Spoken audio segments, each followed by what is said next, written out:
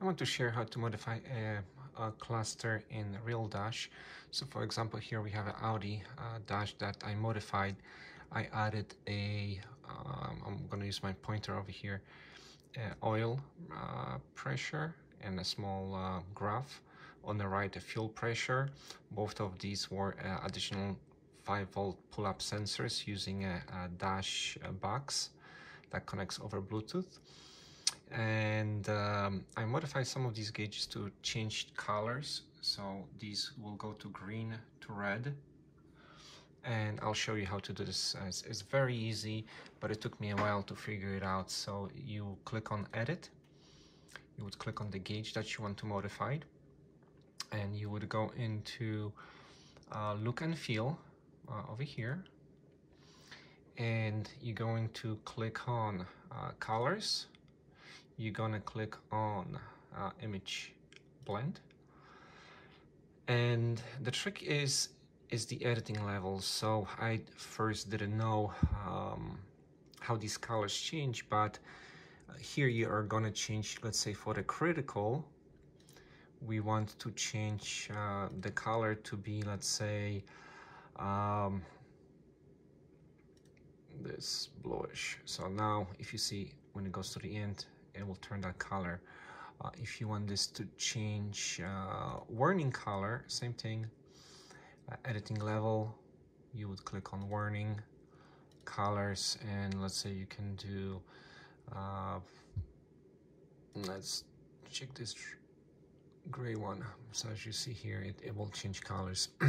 The ones that make sense to me uh, is pretty much for critical to use red and for warning to use yellow-ish. Um, and for normal use green. And as you see this fills up it, it goes in there. Um, when you click on OK save it. This will now nicely change colors. Um, so if, um, if the battery is under charge it'll be red. When it's charged range it's green and if it's overcharged it's red. Uh, to change the warning levels um, again you click on edit you click on the ba battery but this time you'll click on the input volumes. And in here is where um, the ranges are set. So we have the range up to 17 warning level 15.5 and critical 16 and for below we have 912 and these values are automatically filled in when you click on uh, the battery and, and you find the battery here and, and pick it uh, so that's great that these are automatically set which is helpful. I did the same thing for intake air temperature and the, the beauty is that these numbers again are pre-filled um, when you pick uh, those numbers um, and uh, let's see what else? Um, to add a gauge you would click on add a gauge and there are multiple different ones in here. You can do the map um, either graph or just text gauge. I use as a, a small small gauge um, to show a graph.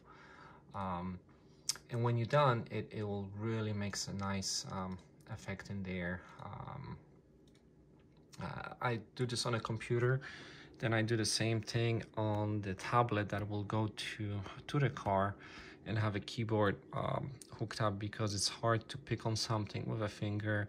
But this is again very friendly because you have the X, Y, and um, the size of the um, uh, font. You can easily just type it in. Um, so first what I do is um, uh, set this up on a computer um, see if I like it and um, how it looks. And then I do the same thing on the tablet because it's much easier to use the mouse. Just uh, um, point and, and click. And I use here the simulated values. So under settings you can click on source and we have simulation. So that's why they're they're just going in a circle over here. But it's great because you can test test everything in here and uh, that's how you can modify these things. You can really make this customizable to your uh, to your needs or to your likings and I really like this app